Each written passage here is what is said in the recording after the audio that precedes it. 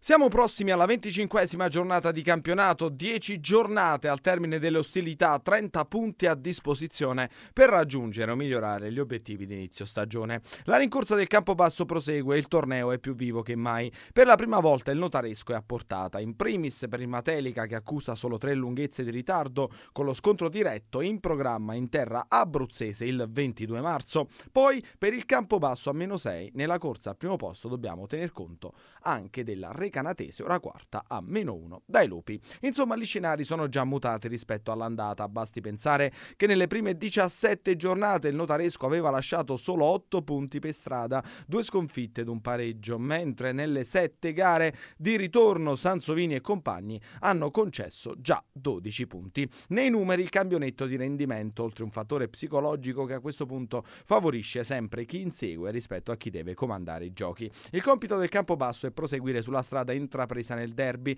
contro l'Olimpia Nionese ragionare match dopo match. Il prossimo ostacolo si chiama Monte Giorgio. I marchigiani della provincia di Fermo navigano tranquilli a quota 35 punti, salvezza in tasca e possibilità di rientrare nella lotta per il quinto posto. Dopo una gran prima parte di stagione, gli uomini di mister Baldassarri hanno accusato un calo abbastanza netto. Basti pensare che nelle ultime otto giornate il Monte Giorgio ha vinto in una sola circostanza, il successo interno contro il Fiuggi, unica gioia piena del 2020. Questi sono solo numeri, poi c'è il campo dove tutto può cambiare. Al contempo quella marchigiana è una squadra che di fatto ha già raggiunto l'obiettivo. In questo i lupi dovranno fare la differenza, le motivazioni sono diverse e la fame di rimonta del campo basso dovrà essere decisiva. Non solo, anche vendicare la sconfitta dell'andata 0-1 a Selvapiana, gol realizzato da Mariani, 10 centri per lui in campionato, ultimo stop degli uomini di Cudini prima della super serie di 16 gare utili consecutive. Sulla formazione è prevista la conferma della squadra tipo, vista all'opera domenica scorsa contro il Porto Sant'Elpidio. Mentre per quanto riguarda i tifosi ci sarà la prevendita, nessuna limitazione, con un massimo di posti individuato in 228, dunque 228 tagliandi per i tifosi del Campobasso.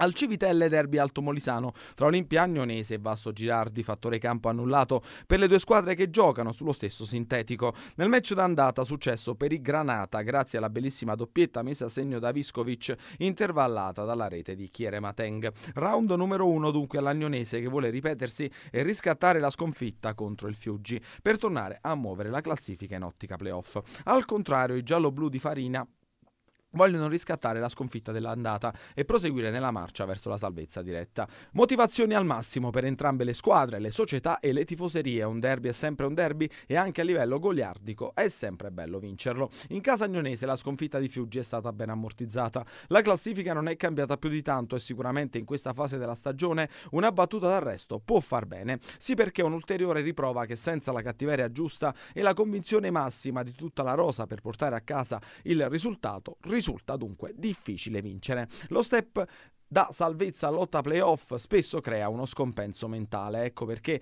lo stop può essere salutare se analizzato nel giusto modo. Mister Rullo non potrà contare su Minicucci per lui seconda delle tre giornate di squalifica e probabilmente su Frabotta assente già domenica scorsa per problemi muscolari. Lo staff cercherà di recuperare in tutti i modi il difensore centrale. In avanti ballottaggio a Maia Conè per affiancare Acosta nel consueto 3-5-2 adottato nell'ultimo periodo da Mister Rullo. In casa Vasto Girardi Farina deve fare i conti con la la squalifica pesante di Mikhailovski. Il difensore russo dovrà scontare ben tre giornate perché, come recita il referto del giudice sportivo, colpiva un calciatore avversario con un pugno ad un fianco a gioco fermo. Una brutta gatta da pelare l'assenza del centrale che salterà il derby, la sfida interna al Matelica e la trasferta di Cattolica, salvo ricorso da parte della società. Al suo posto dovrebbe giocare Corbo, pronto a rientrare nell'11 iniziale. Per il resto qualche acciacco per Fazio e Petrone. I, i due giocatori tuttavia non sono in dubbio e saranno regolarmente in campo domenica. Reclama spazio Migno in gol contro la Vastese.